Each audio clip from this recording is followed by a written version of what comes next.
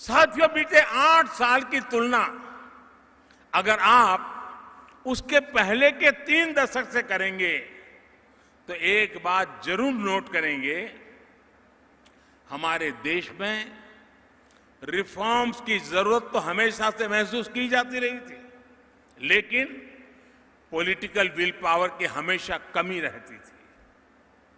पिछले तीन दशकों में लगातार बनी रही राजनीतिक अस्थिरता के कारण देश ने लंबे समय तक पॉलिटिकल विल पावर की कमी देखी।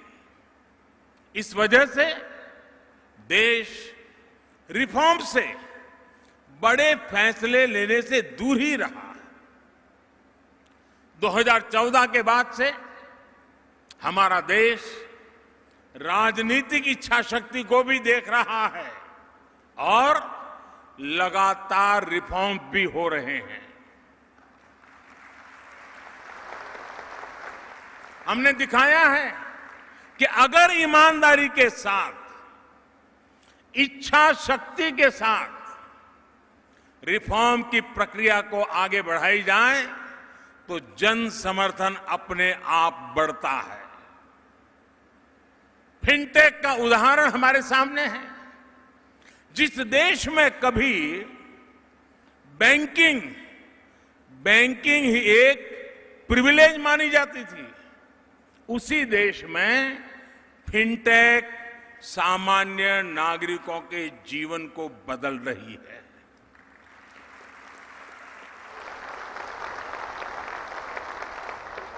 जहाँ कभी बैंकों के प्रति भरोसा कायम करने के लिए बहुत सारी मेहनत करनी पड़ती थी।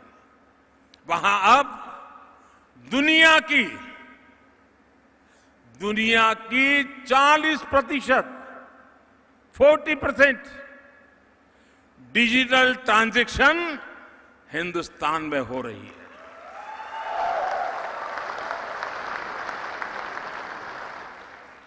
हमारे हेल्थ सेक्टर को भी ये माना जाता था कि किसी बड़ी चुनौती को रिस्पॉन्ड नहीं कर पाएगा। लेकिन हेल्थ सेक्टर में रिफॉर्म की देश की इच्छा शक्ति का परिणाम हमने 100 साल की सबसे बड़ी महामारी के दौरान अनुभव किया है। कोरोना ने जब दस्तक दी, तब हमारे पास पीपीई किट्स बनाने वाले मैन्युफैक्चरर ना के बराबर थे। कोरोना स्पेसिफिक ज़रूरी इंफ्रास्ट्रक्चर भी नहीं था। लेकिन देखते ही देखते 1100 से अधिक पीपीई मैन्युफैक्चरर्स का नेटवर्क भारत में तैयार हो गया। कोरोना की टेस्टिंग के लिए भी शुरुआत में कुछ दर्जन लैब थी। बहुत कम समय में देश में ढाई हज़ार से अधिक टेस्ट लैब्स का नेटवर्क बन गया। कोविड वैक्सीन के लिए तो हमारे यहाँ चिंता जताई जा रही थी कि हमें विदेशी वैक्सीन मिल पाएगी भी या नहीं। लेकिन हमने अपनी वैक्सीन तैयार की।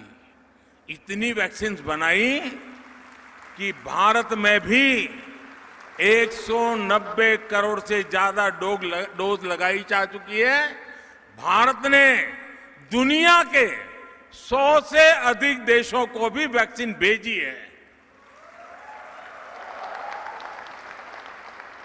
इसी प्रकार मेडिकल एजुकेशन में भी हमने एक के बाद एक अनेक रिफॉर्म किए। इसी का परिणाम है कि बीते आठ सालों में मेडिकल कॉलेज की संख्या 380 से बढ़कर 600 से भी अधिक हो गई है।